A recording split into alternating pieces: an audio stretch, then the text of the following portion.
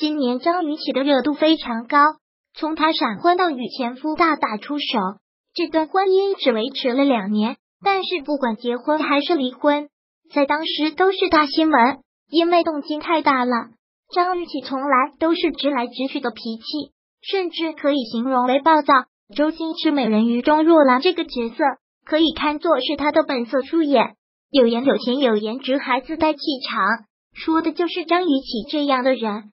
张雨绮在离异家庭长大，这种环境让她很坚强，天生就是不好惹的性格。不过她发脾气也是在特定的环境下，在节目中站张雨绮的表现是很爽朗的，并且有自己的活法，这一点很值得敬佩。比如张雨绮的身材很好。所以，她从来不吝啬展示自己的美好身材。在别的女星还没有放开的时候，他已经穿着低胸装走红毯了。所以，大体上张雨绮的性格是比较不注意别人的眼光的。她底气那么足，别人说破天也可能，只是换来她的一个白眼。最近，张雨绮参加了一个综艺节目，今年她的综艺节目还是比较多的，综艺效果也不错。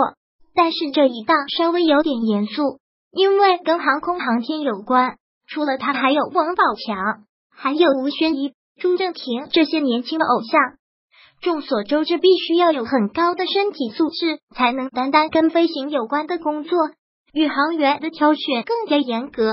节目中有一些比较基础的测试，比如量身高、体重等，还都是拖鞋量。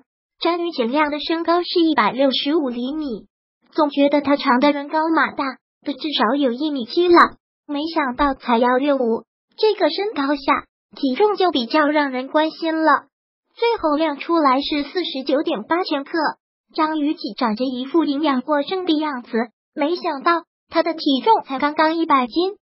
最近张雨绮参加维密秀的时候，她的身材很好，胳膊腿很瘦，感觉她的重量大部分都在上半身。还有还这么凹凸有致的身材，还让人以为她有一百一十斤。果然，女明星就是女明星，人不可貌相。看着再胖，他们的体重也不会过百的。张雨绮长的营养过剩，但当她赤脚称重后，终于知道人不可貌相。